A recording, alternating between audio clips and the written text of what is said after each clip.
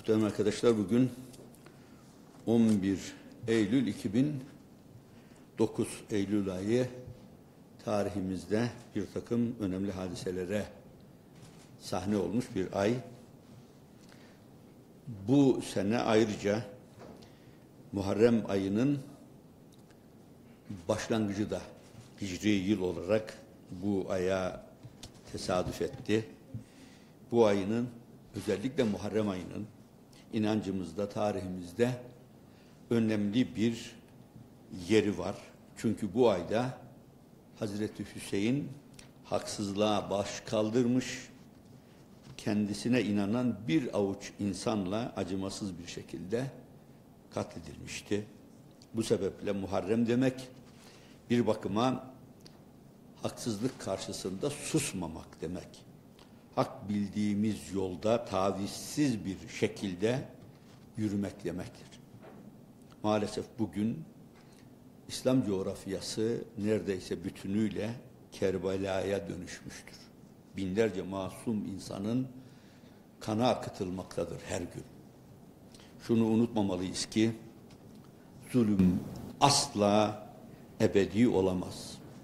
Kötülük de zulüm de muhakkak hüsrana uğrayacaktır. Bundan önce olduğu gibi bundan sonra da zalimler, kan dökenler hiçbir zaman hayırla anılmayacak, yad edilmeyecektir.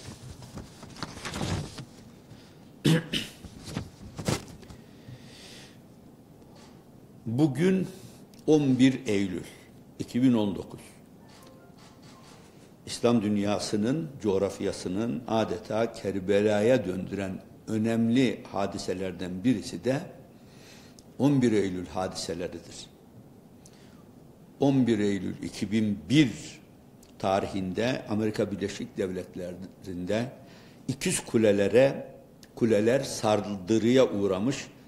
Bunun neticesinde saldırı daha tam manasıyla tetkik edilmeden Müslümanlara mal edilmiş.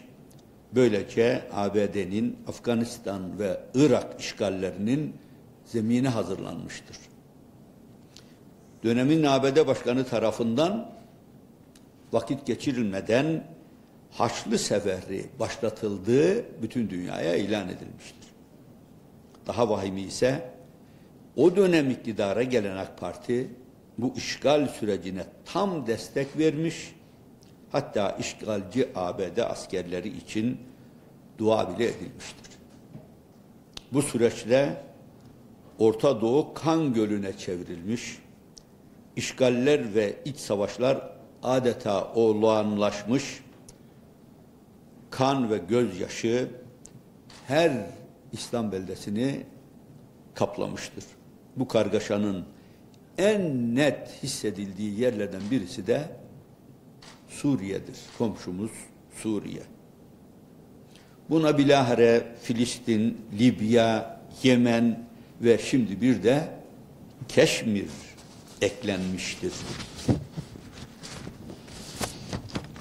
Muhterem arkadaşlar, şu anda Suriye'de güvenli bölge çalışmaları sürdürülmektedir. Televizyon ekranlarında hep beraber izledik. Amerika Birleşik Devletleri askerleri ile bizim askerlerimiz beraberce devriye geziyorlar. Ne yazık ki şehit kanları ile sulanmış bayrağımız işgallerin ve katliamların simgesi haline gelen ABD bayrağı ile yan yana geliyor. Bu görüntü bize merhum Necip Fazıl'ın şu dizelerini hatırlattı. Zindan iki gece Mehmet'im lafta baba katiliyle baban bir safta. Çok açık ve net olarak belirtmek istiyorum ki bundan önce de defaatlerce söyledim. Amerika Birleşik Devletleri'nin olduğu hiçbir yer ne güvenlidir ne de huzurludur bu bölgenin sorunlarını Amerika Birleşik Devletleri veya bir başka emperyalist güç değil ancak bu bölgenin asli unsurları çözebilir. Oluşturulan güç geriye dönersek yeni bir çekiç güçtür. Çekiç güç mahiyetinde bir güçtür. Hedef bellidir. Amerika Birleşik Devletleri'nin işgali altında bulunan bir Suriye oluşturmak. Tecrübe edilen tecrübe edilmez. Bu artık bir darbı mesel haline gelmiştir.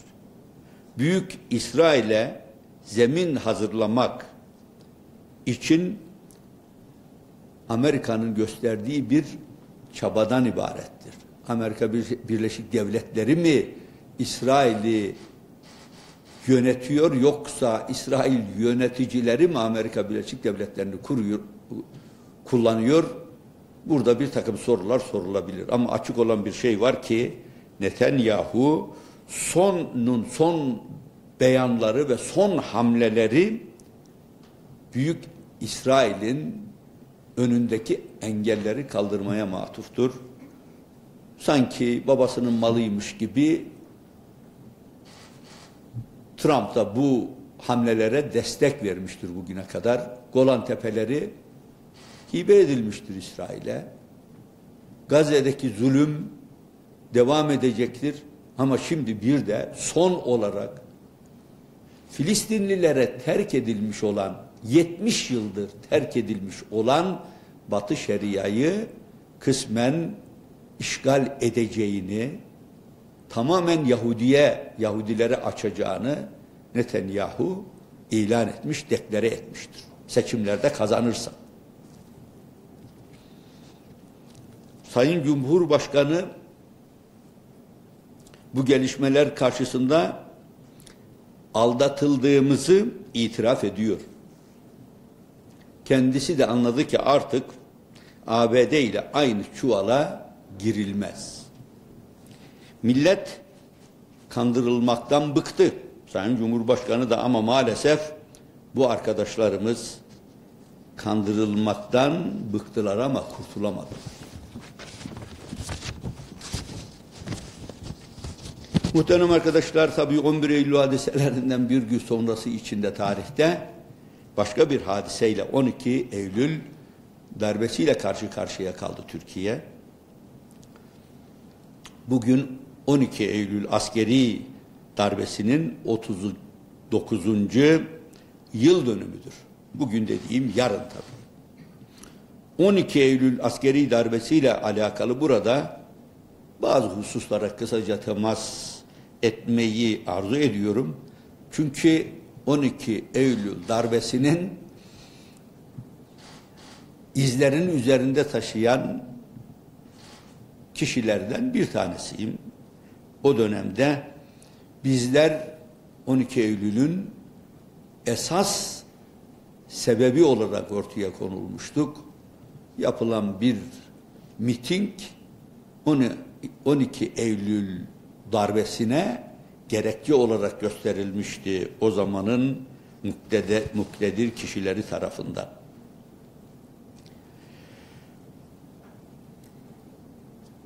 Demokrasimize vurulan en ağır darbelerden birisi 12 Eylül darbesi olmuştur. Onlarca insanın hayatı bu darbeyle kara, karartılmıştır. O dönemi tabii şimdiki gençler hatırlamazlar. Az bir zaman olmadı. 30 yıla yakın bir zaman geçti. Gelecek sene 30 yıl olacak. Bu darbe sürecinde 650 bin kişi gözaltına alınmıştı. 1 milyon 683 kişi fişlenmişti. 210 bin davada 230 bin kişi yargılanmıştı. 7 bin kişi için idam cezası istenmiş, 517 kişi de idam cezasına çarptırılmıştı. Bu idam cezalarından sadece 49'u yerine getirilmişti. tarafsızlıklarını tescil babında da darbeciler o dönemin müktedirleri biz bir sağdan bir de soldan astık demişlerdi. Anayasayı ve hukuki kuralları istedikleri gibi değiştirip kullanmışlardı. Bu bize bir takım çağrış, çağrışımlar yapıyor. Bu kanun devleti ile hukuk devleti arasında çok ciddi bir fark olduğunu tarihçiler de bilir, hukukçular da bilir. Kanunlarla oynayabilirsiniz. Ama kanunlar her zaman adaletin tescili manasına gelmez. 1980 ihtilalindeki söz her zaman hem de anayasa profesörü olan, mahkeme başkanı olan bir kişinin söylediği söz. Sizi buraya getirenler böyle istiyor demişti. Allah muhafaza etsin. Tabii 12 Eylül'de oynanan senaryo neticesinde 12 Eylül'ü temsil eden zihniyet ile zihniyet oy oranının yüksekliği ile zafer de çıkmıştı seçimlerde. Anayasa yüzde doksanın üzerinde tasvip görmüştü oylaması. Ama bugün o anayasa artık delik deşik oldu. Elle tutulur tarafı kalmadı. Herkes itiraf ediyor ki bizim yeni bir anayasaya ihtiyacımız var. Ama olağan olmayan dönemlerde hazırlanan anayasalar hep o dönemin hakim unsurları tarafından kendi menfaatlerini korumak için kullanılır. Bundan dolayı şu anda bir anayasayı meclisten geçirmek, oylamak, onaylamak mümkün değil. İşte anayasada yapılan bir değişiklikle bugünkü sistem kuruldu başkanlık sistemi. Ama bu sistemi kuranlar bile biliyorlar ki bu sistem doğru bir sistem değil, adil bir sistem değil. Ülkeye de fayda sağlamıyor. Geçmişte evet seçimlerden zaferle çıktılar. Oylamalarda en yüksek oy oranına ulaştılar. Fakat tarih onları zalimler olarak tespit etti, kayda geçirdi. Herkes biliyor ki muktedir olabilirsiniz fakat zulm, zulm ile payidar olamazsınız. O günün en güçlü isimlerinin bugün esamesi bile okunmuyor.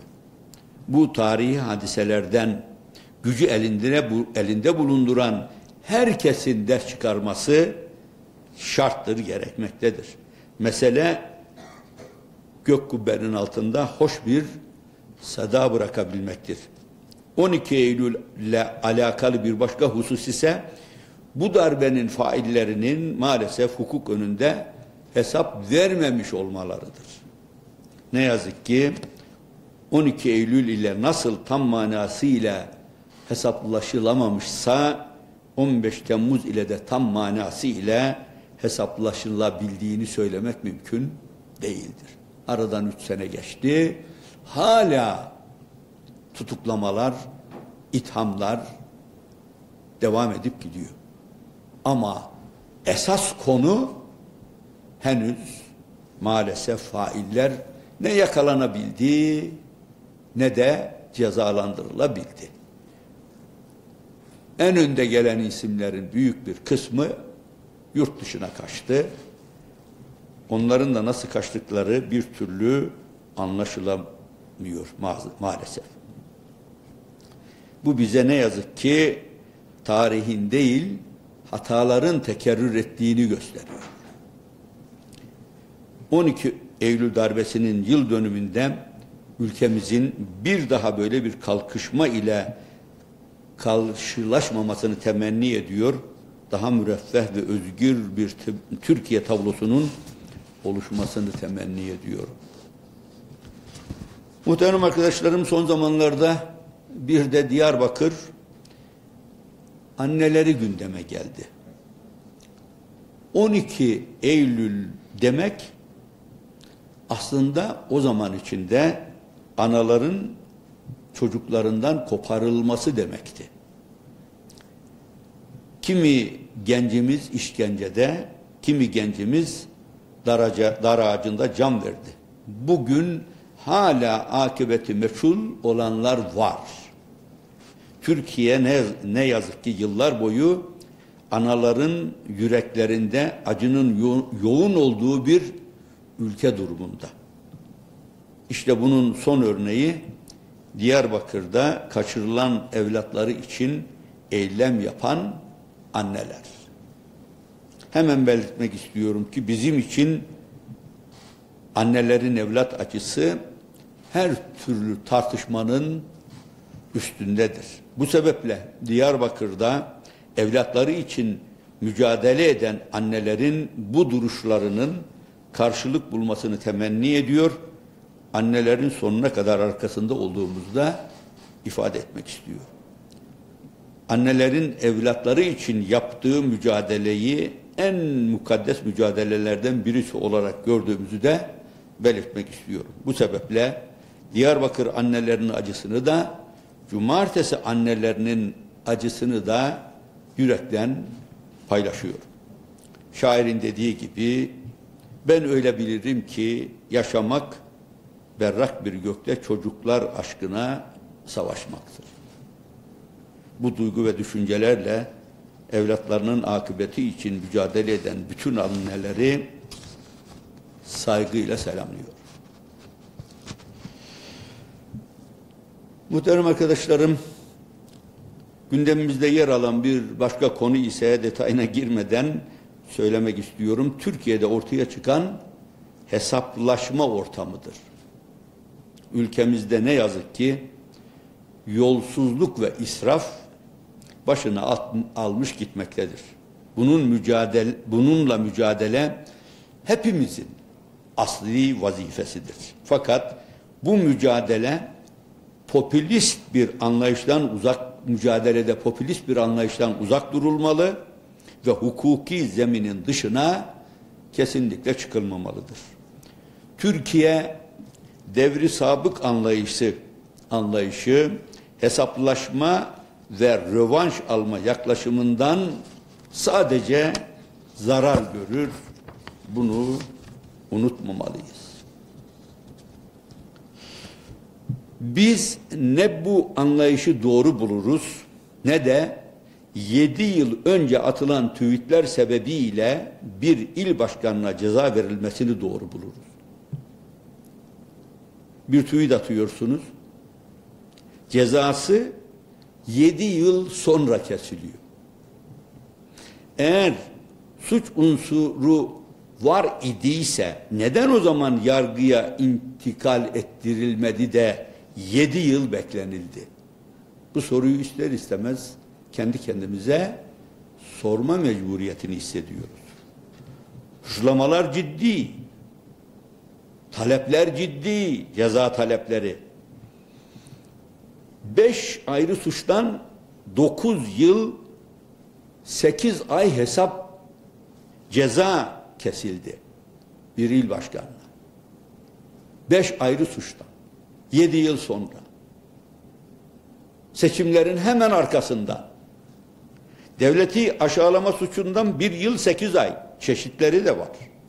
Kamu görevlisini hakaretten bir yıl altı ay. Cumhurbaşkanına hakaretten iki yıl dört ay. Halkı kim ve düşmanlığa tahrik etmekten iki yıl sekiz ay.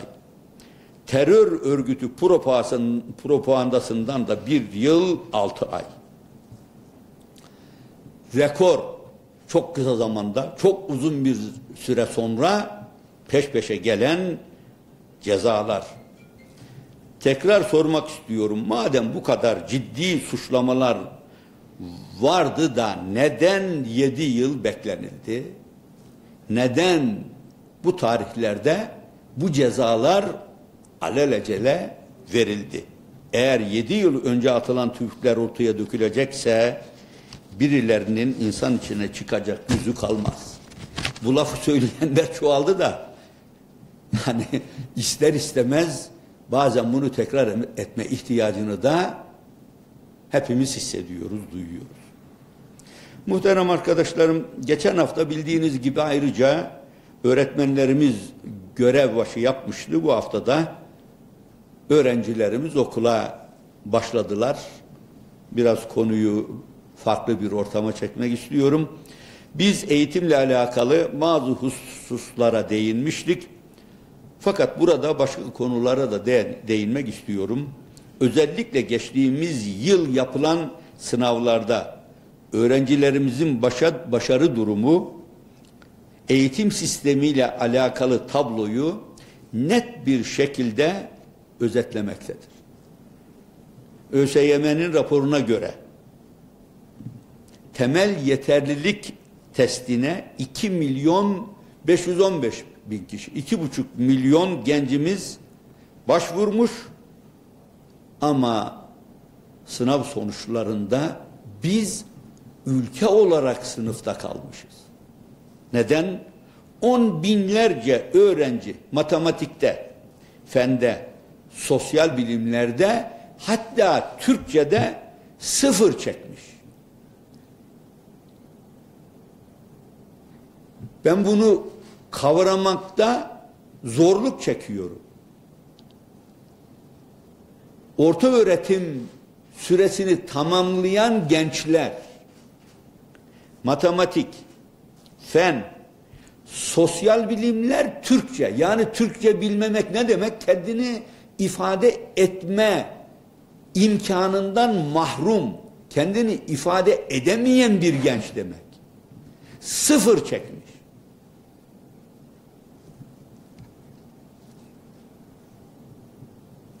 Bu bize şunu gösteriyor ki bu sıfır çekenler sadece öğrenciler değil, yönetimin bizzat kendisidir. 18 yıl iktidarda bulunan bir anlayış 18 yıl kendileri iş başına geldikleri zaman doğan çocukları eğitememişler. Bir sistem kuramamışlar. Geleceğimizi emanet edeceğimiz gençleri nereden bulacağız biz? Aydan mı getireceğiz?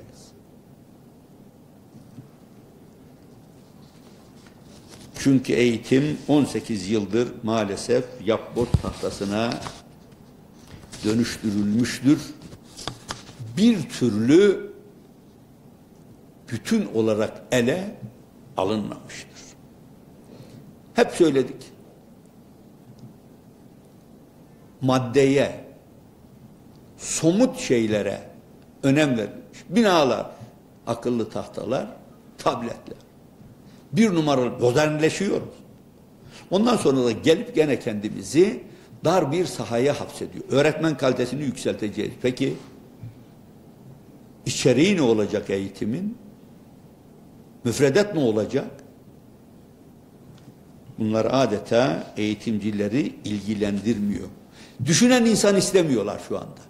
Düşünen, muhasebe yapan, sorgulayan, Yeri geldiği zaman kendisine bu dersi veren hocayı bile ikaz edecek bir zihniyet istemiyorlar. Muhterem arkadaşlarım. Bakın bir konu belki konumuzun çok dışına çıkıyorum ama mevcutla siz devam etmek istemiyorsanız şeklinizi, durumunuzu, duruşunuzu, ilminizi geliştirmek istemiyorsunuz, e, istiyorsanız mutlaka bugünkü kabulleri zorlamak durumundasınız.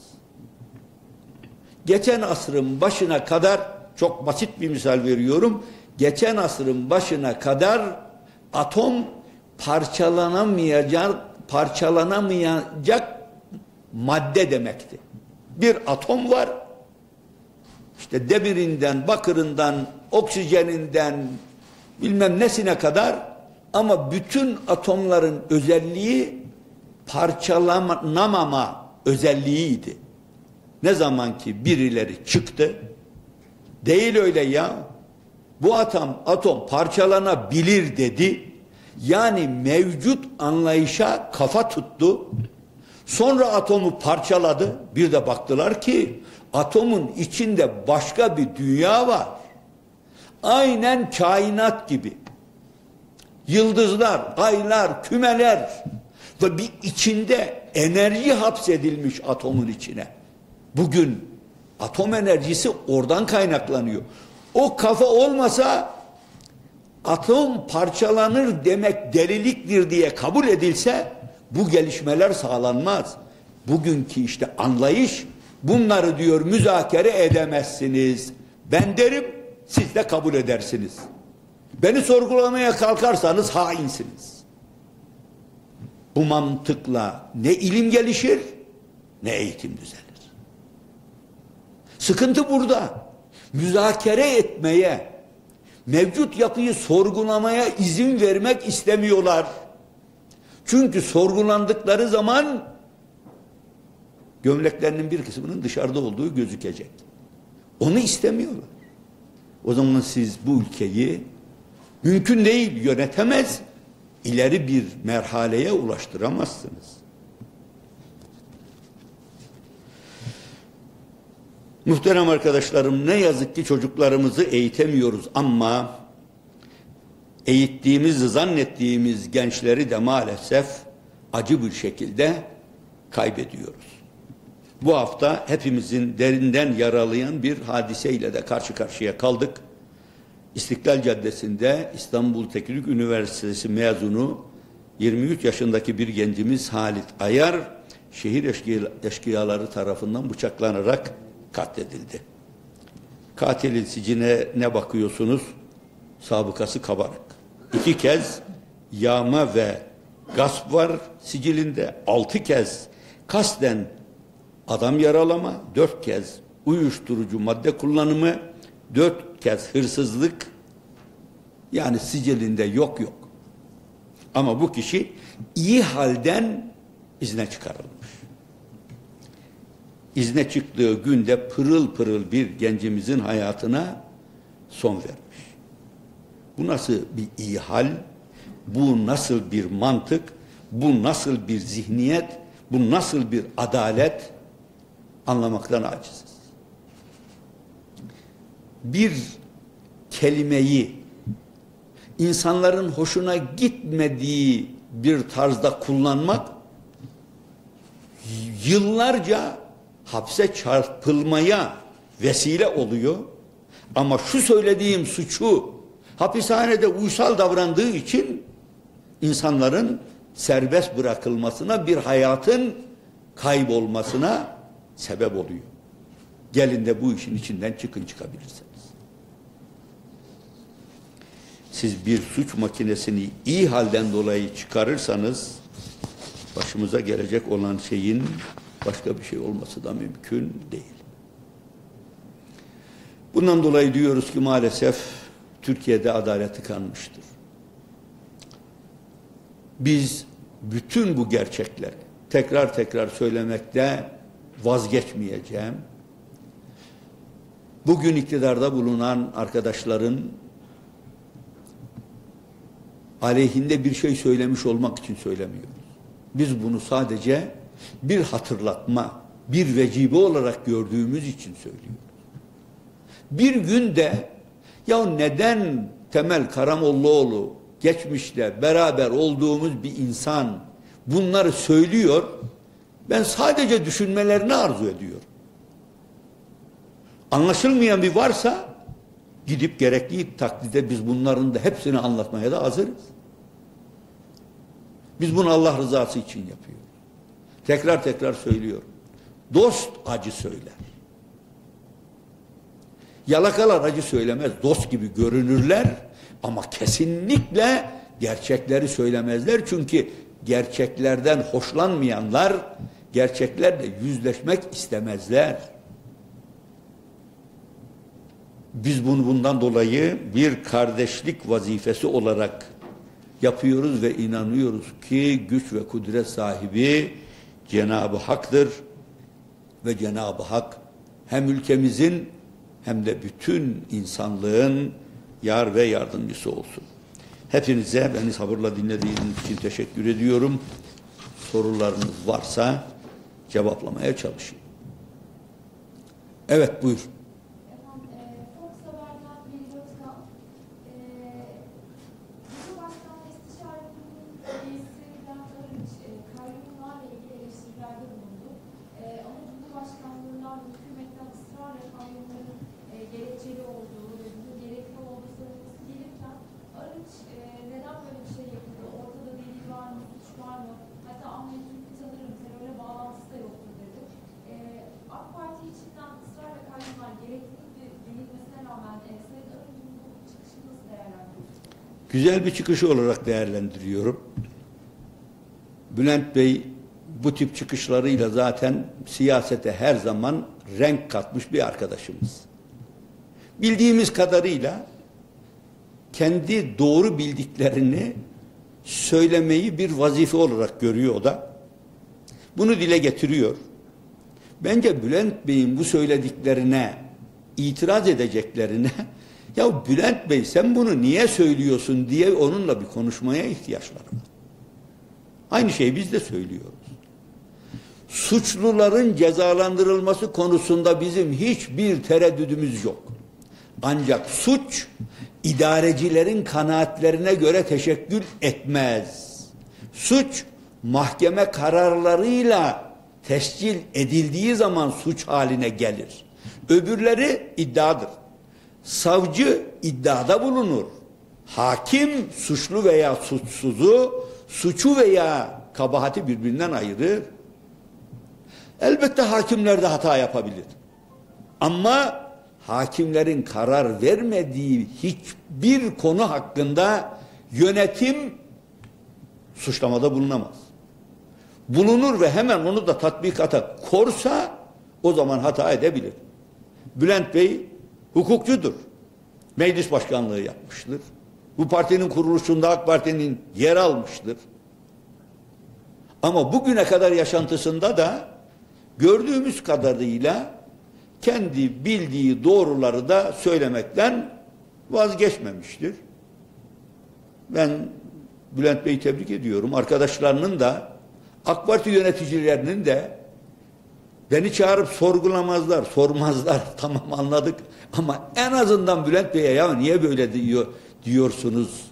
Bizi, bizi zor duruma sokuyorsunuz demelerini beklerim şahsen. Ben teşekkür ediyorum Bülent Arınç Bey'e böyle bir açıklama yaptığı için. Yani bizim en azından açıklamamızın ön yargılı olmadığını teyit etmiş oldu Bülent Arınç. Evet.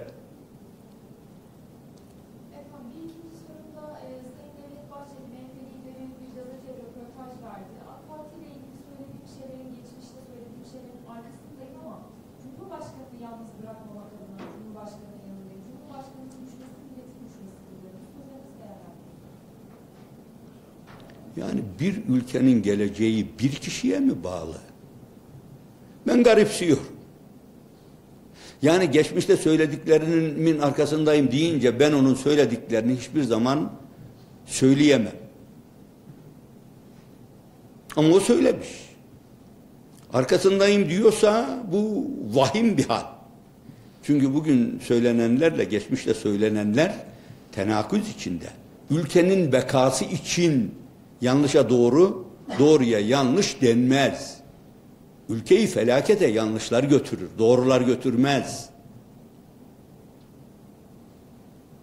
O zaman yaptığı tespitler geçmişte, muhalefetteyken sadece muhalefet olsun diye yapılıyorsa ona bir şey diyemem.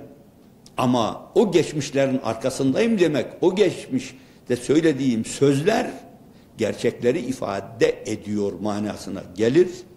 Ben Sayın Bahçeli'nin o ifadelerinin arkasında durmasının yanlışları düzeltmeye matuf bir girişime zemin hazırlanmış olmasıyla bağdaştırıyorum ancak yani. Ona bir zemin hazırlandı.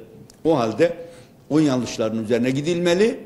Eğer yanlışlar varsa o yanlışların düzeltilmesi istenmeli. Yoksa körü körüne bugün için varlığımız ve birliğimiz için biz birilerinin arkasındayız demek bu memlekete hayır getirmez. Çünkü yanlışlar ülkeyi felakete götürür. Adaletsizlik felakete götürür. Çarpıklıklar Türkiye'yi felakete götürür. İçinden geçtiğimiz sürece bir bakın. Bir zaman FETÖ ile kucaklaştılar. Adalet,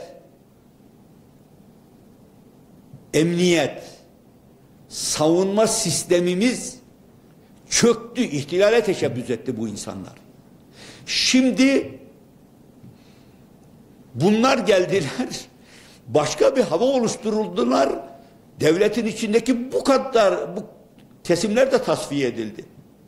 Yani bir zaman FETÖ'cülerin karşı koydukları zihniyet tasfiye edildi. Sonra da FETÖ'cülere mensup olan onların yerini dolduranlar tasfiye edildi. Devlet çökertildi. Devlet. Ne yazık ki bunların yerini şimdi demin söylediğimiz liyakatsiz insanlar dolduruyor. Bir makama gelen o makamda kalabilmenin yolunu arıyor. Ülkeye faydalı olmak, iktidarın yanlışlarını gündeme getirip düzeltmeye çalışmak, gerçeklerle gerçekleri dillendirmek maalesef makam ve mevki sevdasına düşen bir takım imkanlardan faydalanmak için takla atan insanların yapamayacağı bir iş. Onlar bu ülkeye fayda sağlayamazlar. Evet efendim. Emredersiniz efendim. Siz ne kadar güzel buyurdunuz efendim. Ben böyle düşünmüşüm ama yanlışmış efendim. Bu ülke böyle düzeltilmez kanaatindeyiz. Şu anda geldiğimiz noktada aslında Sayın Cumhurbaşkanı'nın bir ifadesi olmuştur. Cumhuriyet İttifakı. Gelin ülkede birbirleriyle bağdaşmayan fikirlere sahip olan partiler bir araya gelsin. Beraberce oturup konuşabilelim. Ama ne yazık ki bu havadan vazgeçildi. 19 Mayıs'a giderken 19 Mayıs'ta toplanalım. Çünkü 19 Mayıs bir bakıma bugünkü Cumhuriyet'in kuruluşunun miladı gibidir. O zaman mücadele başlamıştır, istiklal mücadelesi. Farklı fikir ve kanaatte bulunan insanlar olmuştur ama bir araya gelip bir devlet kurulmuştur, bir ülke inşa edilmiştir. Farklılıklara rıza göstererek, farklılıkları suçlamayarak yapılmıştır bir şeyler. E şimdi ondan vazgeçildi. Şimdi sadece düşmanlaştırarak ayakta kalmaya çalışan zihniyetler var. Nereden gelirse gelsin biz bunu tasvip etmeyiz. Niye düşmanlaştıracağız? Farklı fikir ve kanaatlerimizi neden paylaşmayacağız? Neden yeri geldiği zaman ya karşımızdakini ikna etme veya bir orta yol formülü bulmaya neden girişmeyeceğiz? Türkiye'de bunlar ne yazık ki kalktı. Adalet mekanizması da maalesef buna alet ediliyor. Bundan da tabii büyük üzüntü duyuyoruz. Çünkü devlet adaletle kaimdir. Evet. Başka arkadaşlarımızın soruları yok. Hepinize teşekkür ediyorum. Hayırlı günler diliyorum efendim.